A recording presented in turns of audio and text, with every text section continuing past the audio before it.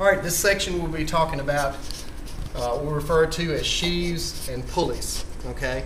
Now, you, uh, you know, in, in, typical air conditioning systems, you always have a, a blower wheel that forces the air throughout the circulated space. Um, and some you have uh, on exhaust fans also that may be uh, drawing air from the inside of the building and, and moving it to the outside. And some energy recovery units you have are 100% outside air systems. You have blowers and uh, fans that draw outside air into the building. So every mechanical uh, air conditioning system or um, ventilation type system has a type of fan or blower uh, in, in the air handling unit or packaging it, whatever the case may be. Now, um, you have two types of fans and blowers, and one is called a direct drive. And in a direct, direct drive system, you have the blower wheel actually attached to the shaft of the motor.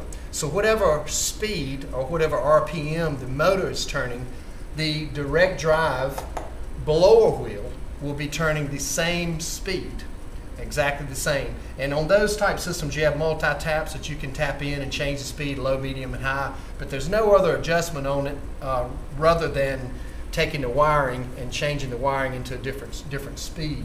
Now, a lot of, especially when you get it, these are mostly smaller moving air handlers, residential type, uh, oil furnaces, um, different things like that. Although you still see some of this second type we're going to discuss, which are called belt driven um, blowers. And this is a little bit different than a direct drive system. In a belt driven system, you have the, mo- the motor and a shaft on the motor with a pulley or a sheave uh, attached to it. Um, for instance, this is a, a little schematic of maybe a, a, a sheave that's on a, a motor, and then you have your blower wheel that's completely separate from your motor.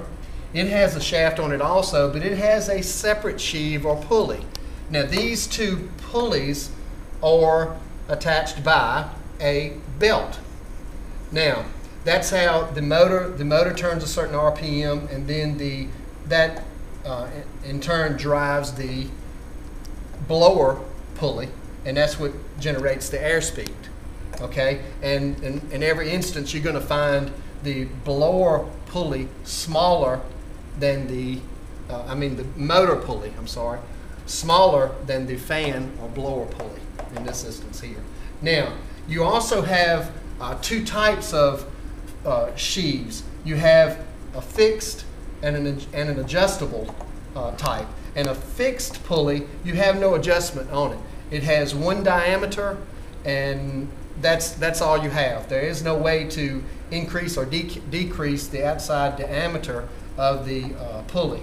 And the adjustable type sheave, there is an adjustment on it to where you can um, dial in or out the outside of the pulley itself, which increases or decreases the diameter, outside diameter of the pulley, which in a sense makes the pulley larger or smaller without having to completely change the pulley out with a different one.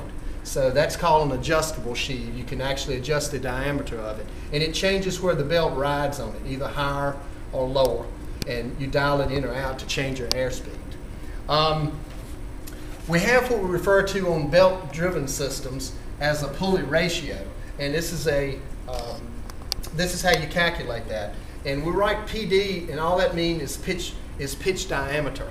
And all that all that simply means is is the outside diameter of the of the pulley or the sheave. So the calculation to come up with the pulley ratio is pitch diameter of the fan divided by the pitch diameter of the motor would give you the pulley ratio. So if for an example here, if you've got a fan diameter pulley of, of six inches and you've got a pitch diameter of a motor of two inches, then you just simply divide and come up with three. So the ratio would be three to one because six would be three times two. Um, so it would be a three to one pulley ratio. So that's a simple calculation that you do for that. Now, the important thing to remember is on um, these motor and blower sheaves, you have to remember that if you increase the diameter of the motor pulley, you will increase the speed of the fan. Naturally, if they're both the same size, the blower will be turning the same RPM as the motor. The exact opposite happens on the blower wheel. Okay? If you increase the size of this blower wheel, you will decrease the, the amount of air that your CFM or cubic feet per minute that your fan is actually blowing. What you have is a um, a, a proportional, a, inverse proportional um, calculation that you use for. In other words, if I if this motor if this sheave on the blower was a three inch diameter and it was moving a thousand CFM, and we increased this blower pulley from three to six inches, we would cut our CFM in half. So we would go from 1,000 CFM to 500 CFM by doubling the size of this sheave. Okay? Now, since we're talking about fan speed, there's a relationship, direct relationship, between uh, the pulley diameters and the RPMs. So this is a calculation here to try to find out if you know three of these and you want to find out the remaining factor, then you can use this formula here, and it's a simple equality equation here. Um, the RPM of the fan over the RPM of the motor is equal to the pitch diameter of the motor over the pitch diameter of the fan. Now, using this calculation, you would just fill in uh, what you know and put an X where you don't know it, and you simply cross multiply and then divide, and that will come up with your, your, your answer. Using an example here, if we've got a RPM of a fan of 1,000, and we've got the RPM of the motor is 1800. And we know the pitch diameter of the motor is 4, but we don't know the pitch diameter of the fan. So we put an X here. So all we're going to simply do is cross multiply and divide to find out what that pitch diameter of the fan is. So 1800 divided by 4, cross multiply. Uh, I'm sorry, 1800 times 4 divided by 1,000 is going to give us 7.2. So that would be the pitch diameter of the fan.